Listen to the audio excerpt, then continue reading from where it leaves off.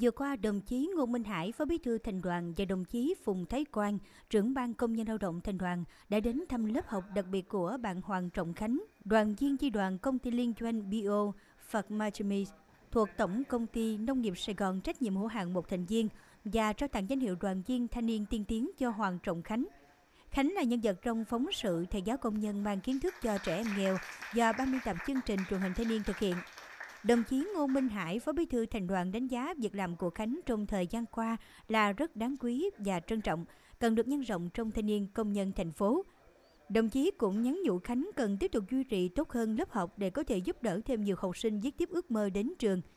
Hoàng Trọng Khánh là người mở ra lớp học dạy thêm miễn phí cho học sinh nghèo tại khu Gò Mã, phường Phước Long B, quận 9, thành phố Hồ Chí Minh. Mặc dù là công nhân, thế nhưng hơn 7 năm qua, Khánh vẫn duy trì lớp học đều đặn. Nhiều học sinh đã trưởng thành tại lớp học này bằng chính tình yêu thương với học trò nghèo của người thầy công nhân.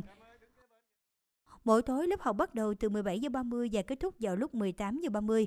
Ca sớm là học sinh lớp 7, lớp 9, còn ca muộn hơn là học sinh lớp 6, lớp 8.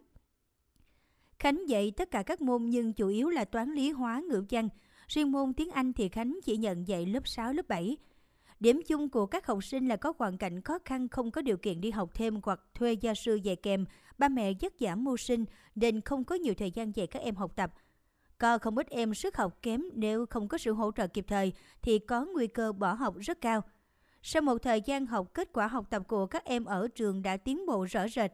Nhiều em từ yếu kém đã trở thành khá giỏi, nhiều em còn dẫn đầu lớp môn hóa, giờ số điểm cuối năm lên đến 9,75, có em đã trở thành sinh viên đại học.